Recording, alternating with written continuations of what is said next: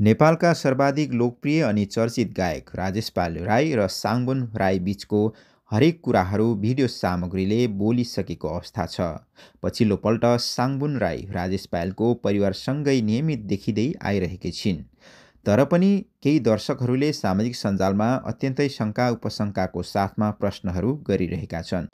त्यही शङ्का उपशङ्का अनि प्रश्नहरूको बिचमा राजेश पायल राई र साङबुन राईको बारेमा स्पष्ट जानकारी दिने भिडियो सामग्रीहरू यहाँ राख्न गइरहेको छु। राजेश पाल राई र साङबुन राई बिचको जति पनि कुराहरू बाहिर आए अनि सामाजिक सञ्जालमा देखिएका शङ्का उपशङ्काहरूलाई निमिट्यान्न पार्न भिडियो सामग्री आइसकेको छ। साङबुन राईले राजेश पायलबारे थुप्रै कुरा सेयर गरिसकेकी छिन्।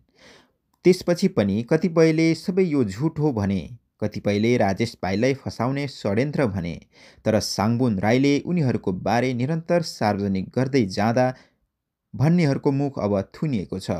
उनले सिधै हस्बेन्ड वाइफ भनेर जानकारी गराइसकेकी छिन्।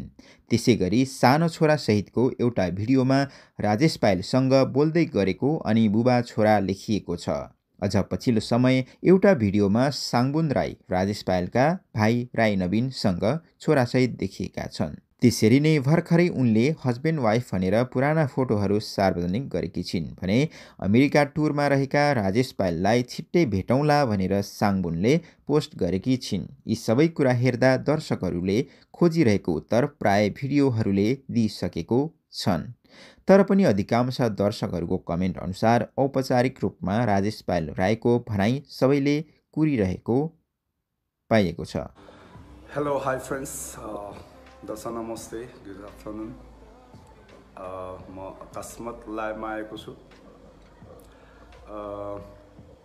लाइभमा आउनु कारण छ र हाम्रो घर परिवारमा कहिलेकाहीँ मायाले सम्बोधन गर्दा मेरै बहिनी सुजता या सुजिनाले मलाई पिभाइ पनि भन्नुहुन्छ भन्छन् म उहाँहरूलाई मायाले सुजी भाइ भन्छु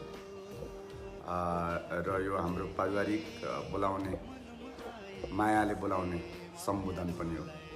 र यसलाई अतिरञ्जित नगरिकन आग्रह गर्छु कि केही न्युज पोर्टलहरूले आज लेख्नुभएको रहेछ राजेश पाल राईले भेटाए मायालु भनेर। यस्तो मनगणन्ते समाचारहरू नलेखिदिन र मेरा आफन्त शुभचिन्तकहरूमा बिना कामको टेन्सन नदिन आग्रह गर्दछु। र यो फेसबुक लाइभ आउनु कारण यही हो तपाईँहरूको अनलाइन पोर्टलहरूको कतिपयको अवस्थामा अफिस छैन। कहाँ कमेन्ट गर्न जाउँ? या फोन नम्बर छैन? आधिकारिक फोन नम्बर छैन? यस्ता तथाकथित तथ्यहीन समाचारले कहिलेकाहीँ पिरोल्ने गर्छ। कतिपय समाचारहरूलाई त म खण्डन गर्दिनँ र त्यसलाई खण्डन गर्न आग्रह पनि गर्दिनँ म। किनभने त्यो समाचार नै होइन र कतिपय परिवारमा त अचल तनाव पनि छैन। पहिले पहिले चाहिँ तनाव हुन्थ्यो मेरो कारणले के न्युज आउँछ खरि के न्युज आउँछ कोसँग बिहा हुँदैछ भनिदिन्छ। बिहा हुँदैछ यति गते भनिदिनुहुन्छ। कतिपय पत्रकार साथीहरूसँग मेरो अत्यन्त राम्रो सम्बन्ध छ। कतिपय होइन कि हन्ड्रेड पर्सेन्ट पत्रकारसँग राम्रो छ। जो आधिकारिक हुनुहुन्छ उहाँहरूसँग मेरो अत्यन्त राम्रो सम्बन्ध छ र उहाँहरूले प्रायः त्यस्तो न्युज लेख्न अगाडि मलाई प्रायः सोध्नुहुन्छ के भइरहेको या त्यो घटनाक्रम के हो?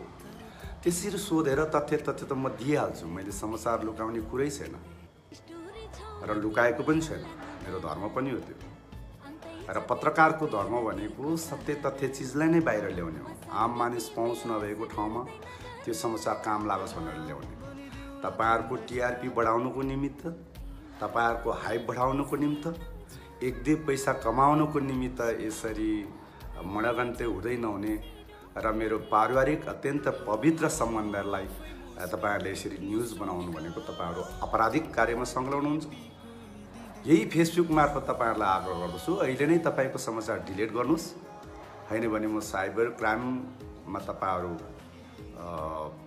लाई पक्राउनेछु र मानहानि मुद्दा लगाउनेछु। आग्रह गर्दछु कतिले लाइभ हेरिरहनु भएको छ यस न्युजलाई तपाईँ सेयर गर्नुहोस् ताकि त्यो पत्रकारहरू माझ पुगोस्।